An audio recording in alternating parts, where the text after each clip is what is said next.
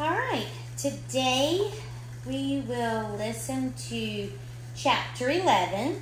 Before we do that, I just want to refresh your memory. We left off yesterday with Brian has forgotten about the searchers and he was kind of upset with himself for forgetting that he should be looking for the searchers to come and find him. All right, chapter 11. There were these things to do. He transferred all the eggs from the small beach into the shelter, reburying them near his sleeping area. It took all his will to keep from eating another one as he moved them. But he got it done, and when they were out of sight again, it was easier. He added wood to the fire and cleaned up the camp area. A good laugh, that. Cleaning up the camp. All he did was shake out his windbreaker and hang it in the sun to dry and bury the juice that had soaked in it and smooth the sand where he slept. This kind of has me thinking about what y'all are doing right now. Are you cleaning up your bedrooms when you get up in the morning since you don't have to get to school so early? Hmm. Are you eating all the food you can get your hands on because you're at home and not at school? Just some thoughts that I thought of while I was reading that page. But it was a mental thing. He had gotten depressed thinking about how they hadn't found him yet. And when he was busy and had something to do, the depression seemed to leave. There were the things to do. With the camp squared away, he brought in more wood. He had decided to always have enough on hand for three days, and after spending one night with the fire for a friend, he knew what a staggering amount of wood it would take.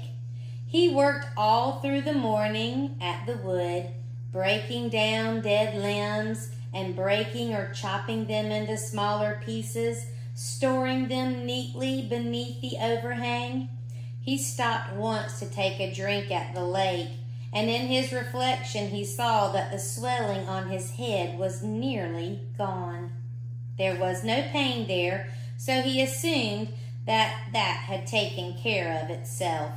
His leg was also back to normal, although he had a small pattern of holes, roughly star shaped, where the quills had nailed him. And while he was standing at the lake shore taking stock, he noticed that his body was changing. He had never been fat, but he had been slightly heavy with a little extra weight just above his belt at the sides. This was completely gone, and his stomach had caved in to the hunger, and the sun had cooked him past burning, so he was tanning. And with the smoke from the fire, his face was starting to look like leather. Did you hear that simile? He compared his face to leather, all because of the smoke. But perhaps more than his body was the change in his mind or in the way he was was becoming. That makes me think back to the last chapter when he called himself a city boy and he was thinking thoughts that someone from the city would be thinking. Now he's becoming kind of like a country boy. He's out in the country with no one around. I am not the same, he thought. I see, I hear differently. He did not know when the change started, but it was there. When a sound came to him now, he didn't just hear it, but would know the sound. He would swing and look at it a breaking twig, a movement of air, and know the sound as if he somehow could move his mind back down the wave of sound to the source. He could know what the sound was before he realized he had heard it. And when he saw something, a bird moving a wing inside a brush or a ripple on the water, he would truly see that thing, not just notice it as he used to notice things in the city. He would see all the parts of it, see the whole thing, the feathers, see the color of the feathers, see the bush and the size and the shape and the color of its leaves. He would see the way the light moved with the ripples on the water and see what the wind made and see that the wind made the ripples and which way the wind had to blow to make the ripples move in a certain way. None of that used to be in Brian, and now it was part of him. A changed part of him, a grown part of him, and the two things, his mind and his body, had come together as well, had made a connection with each other that he didn't quite understand. Then his ears heard a sound, or his eyes saw a sight. His mind took control of his body. Without his thinking, he moved to face the sound or sight, moved to make ready for it, to deal with it. There were these things to do. When the wood was done, he decided to get a signal fire ready. Remember, he talked about that earlier a way that he would be able to signal an airplane that may be flying by. He moved to the top of the rock ridge that comprised the bluff over his shelter and was pleased to find a large flat stone area. More wood, he thought, moaning inwardly.